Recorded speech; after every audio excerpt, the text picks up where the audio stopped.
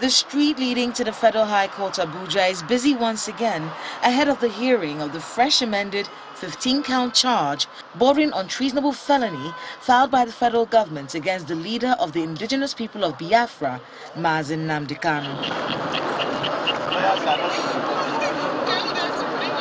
However, by noon, the streets were taken over by security operatives. An order by the trial judge, Justice Binta Nyako, to allow other judges hear their cases before the stipulated time for Kanu's case.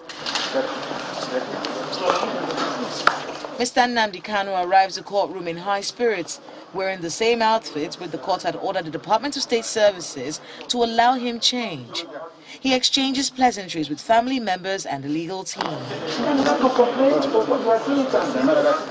At the resumed trial, Mr. Kanu's counsel, Mr. Mike Ozekhome, told the court that he had two applications.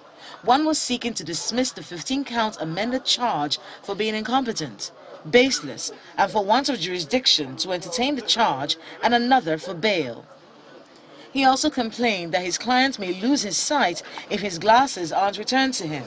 He further bemoaned that despite an order of the court, the Department of State Services has declined to allow the indigenous people of Biafra leader to have a change of clothing.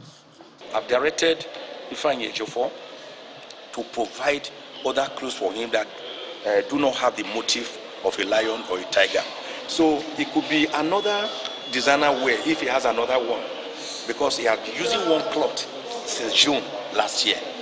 That is not good for any human being. The repetitiveness alone is, is itself a problem.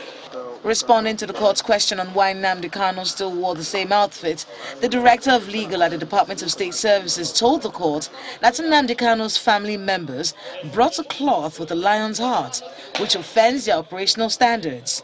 The prosecuting counsel insists they are fully ready to see the case to its logical conclusion.